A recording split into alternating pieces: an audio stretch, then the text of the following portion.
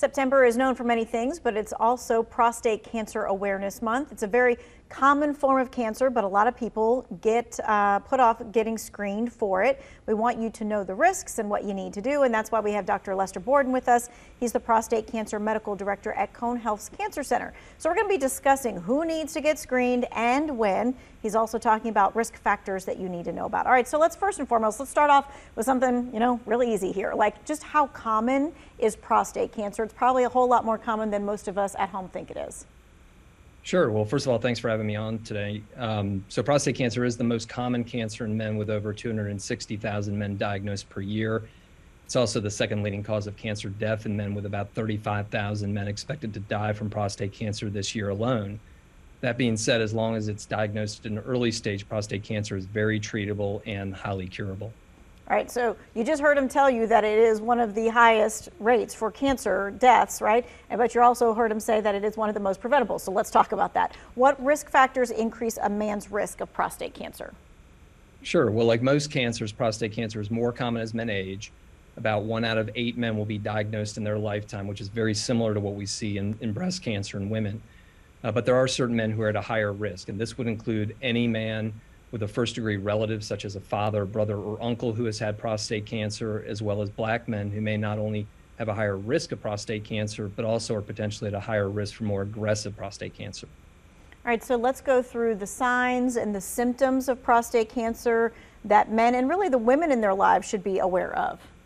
Sure. So, one of the main problems with prostate cancer is that it doesn't really cause any symptoms until it's already reached a pretty advanced stage and is usually beyond cure at that point. And so, because of this, men have been screened with a blood test called PSA or prostate specific antigen. This is a protein made by the prostate.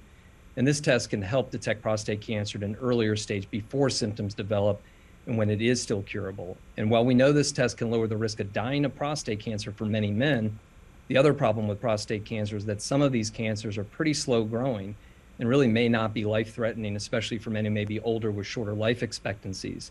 So, one of the concerns about PSA screening has been that men with these non aggressive cancers could be potentially overdiagnosed and overtreated if the PSA test is used indiscriminately on everyone. And that's what used to be done in this country. And this has led to some controversy about who really should undergo the PSA test. It's resulted in confusion for both patients and also primary care doctors and ultimately, it's led to a lot of inconsistency among different primary care providers in how they approach prostate cancer screening. Fortunately, we now have much better information to guide us, and the data is now fairly consistent about who should and who should not undergo routine PSA screening. Okay, so then let's talk about that. When do men need to get screened, and then when should they start having that conversation with their provider? Sure. Well, because of what we just discussed, understand that prostate cancer can be slow growing in many men the men who are going to receive the, the most benefit are obviously going to be those who have longer life expectancies. So it's now pretty clear that if a man's going to live less than 10 years, they receive pretty minimal to no benefit from routine screening. So this would include most men over age 75, men who might be younger but might have other serious medical conditions that would limit their lifespan. On the other hand, men who are at a high risk for prostate cancer likely should start being screened even in their 40s. And this would include, again, black men, men with a family history of prostate cancer, such as a father, brother, or uncle. And then for those men who are at an average risk, who really have no risk factors but are expected to live at least 10 years, there certainly is a potential benefit to undergo PSA screening. And these men just need, uh, just need to become educated about prostate cancer screening. And through a shared decision process with their medical provider, they can decide if it's right for them. And that discussion for these men at average risk would typically begin around age 50 to 55. Okay. All right, and that's something that too I think of as a wife. I think to myself, I'm wanting to make sure that I'm part of the discussion as well, because it's kind of true that like the women kind of lead the men to go to the doctor. We see it all the time. yeah. Absolutely agree. All right, when we come back, we're going to discuss possible warning signs for prostate cancer. We're going to debunk some misconceptions as well, and that's coming up right after the break.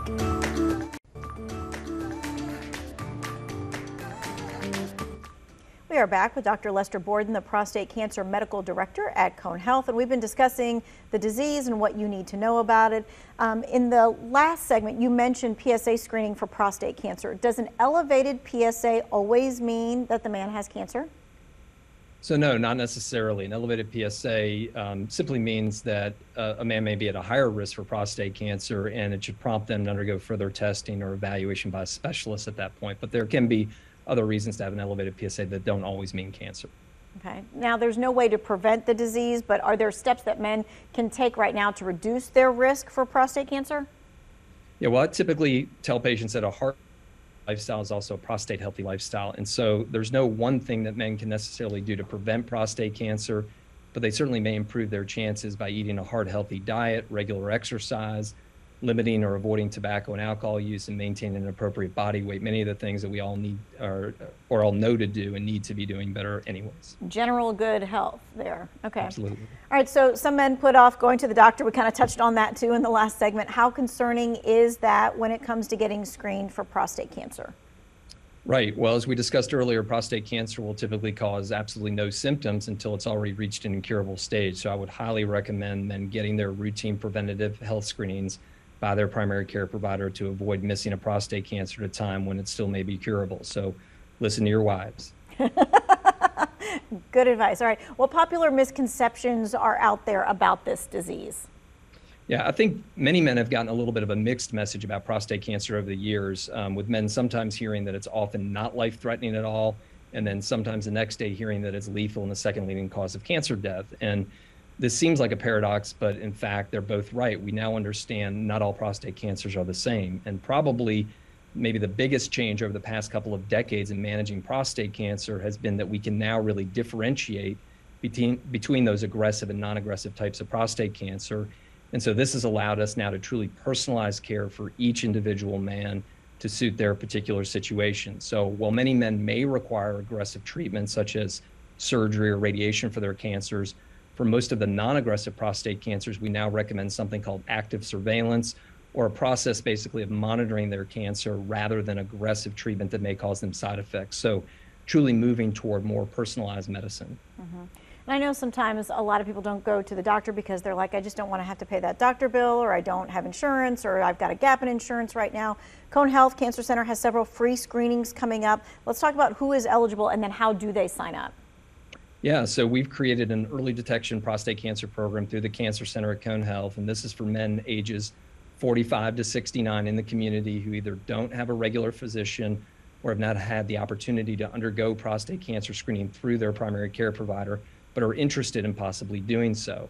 And what we do is provide education about prostate cancer screening there, and then followed by a PSA blood test if a man chooses to proceed. And if interested, you can call 336 832-0849 to register and these are typically running all through September sometimes even into October. All right, and if you didn't get that number, we're going to put it in the web story, but um, I'm sure when you call Cone Health as well, when you say I'm looking for that free screening, they'll direct you to the right spot. All right, we've got about one minute left. What final message do you want uh, to tell folks about prostate cancer? Sure. I, I, think it's just important that men become as educated as they can about prostate cancer. I mean, it's certainly a very serious issue for many men, but they shouldn't be fearful of it. And with routine health checkups, appropriate counseling, most men will be diagnosed at an early stage where the impact of their cancer in their life really can be minimized. And we're really quite fortunate in Greensboro to have some very highly trained prostate cancer uh, physicians, some of the most up to date technology for both diagnosing and treating prostate cancer. So, for those men who will need treatment, they should really feel better that some of the best technology and experience for treating prostate cancer is right here in their own community. Mm-hmm. And they don't have to travel for it. Thank you so much for your time. We appreciate it. Uh, we don't want you to miss any of this information here in a few minutes. We're going to have everything that we just went over on our website. Just head over to the 2 Your Well-Being section.